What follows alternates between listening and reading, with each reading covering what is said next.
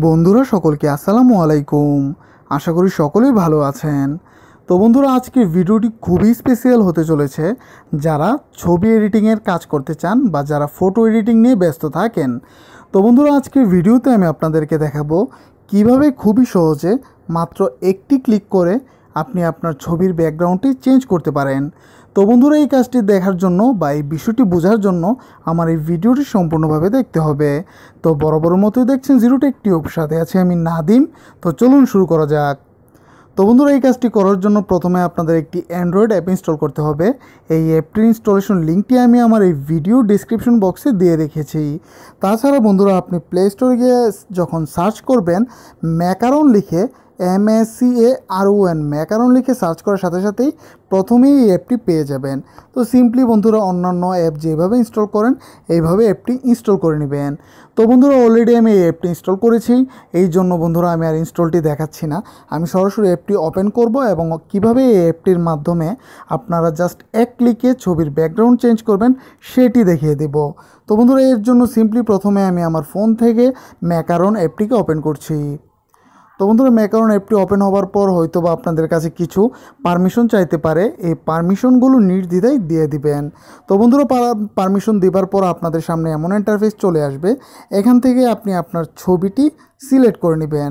সবার উপরে দেখুন বন্ধুরা, আমার ফোনে যতগুলো ছবির বা ইমেজের ফোল্ডার আছে, সবগুলো কিন্তু এখানে চলে এসেছে। আমি এখান থেকে যে কোনো একটি ফোল্ডারে যাচ্ছি।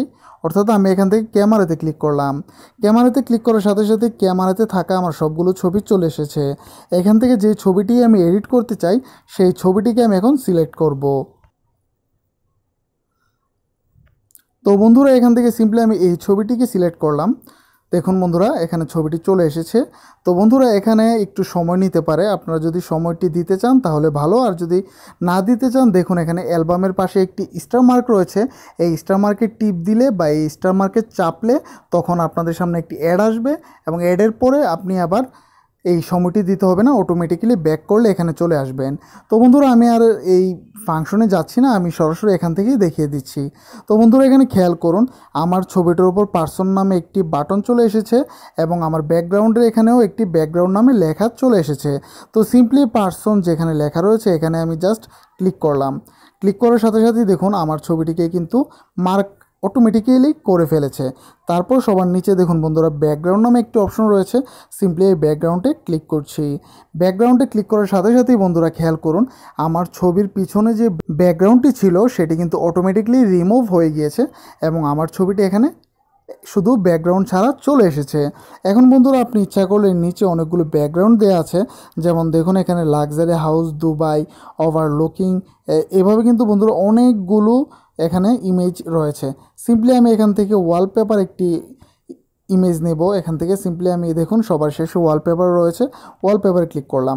করার সাথে বন্ধুরা, এখানে দেখুন অনেকগুলো ওয়ালপেপার চলে এসেছে। সিম্পলি যে কোনো একটি আমি সিলেক্ট করলাম। করার সাথে সাথে আপনারা খেয়াল করুন, আমার ছবির পিছনের ব্যাকগ্রাউন্ডে কিন্তু ওয়ালপেপার আকারে চলে এসেছে। তো এখান থেকে সিম্পলি এটিকে যদি আমি সেভ করতে চাই, নিচের ডান পাশে দেখুন রাইট একটি বা একটি টিক মার্ক রয়েছে। সিম্পলি এই টিক মার্কের উপর ক্লিক করার সাথে সাথেই আপনারা উপরে আরেকটি সেভ বাটন দেখতে পাবেন। এই সেভে ক্লিক করবেন। সেভে ক্লিক করার সাথে সাথেই দেখবেন আপনার ছবিটি গ্যালারিতে সেভ হয়ে গিয়েছে। তারপর ইচ্ছা করলে এখান থেকে আপনি ফেসবুক ইনস্টাগ্রাম টুইটার লাইন এগুলোতেও আপনি শেয়ার করতে পারবেন। তো বন্ধুরা, দেখুন এখানে সেভড হয়ে গিয়েছে, একটি নোটিফিকেশনও চলে এসেছে। তো সিম্পলি আমি এখন গ্যালারিতে যাব, গিয়ে দেখব আমার ছবিটি আসলে সেভ হয়েছে কি না এই জন্য সিম্পলি আমি আমার ফোন থেকে গ্যালারিতে যাচ্ছি।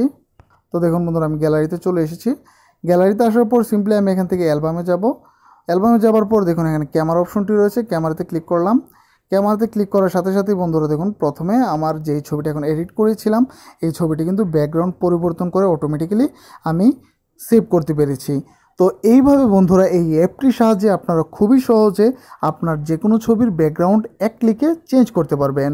তো বন্ধুরা, যদি ভিডিওটি আপনাদের ন্যূনতম ভালো লেগে থাকে, তাহলে অবশ্যই ভিডিওটি লাইক কমেন্ট এবং শেয়ার করতে ভুলবেন না। আপনাদের একটি শেয়ার আমার ভিডিওটিকে বন্ধুরা আরও তৈরি করতে আমাকে সাহায্য কিংবা উৎসাহ যোগাবে।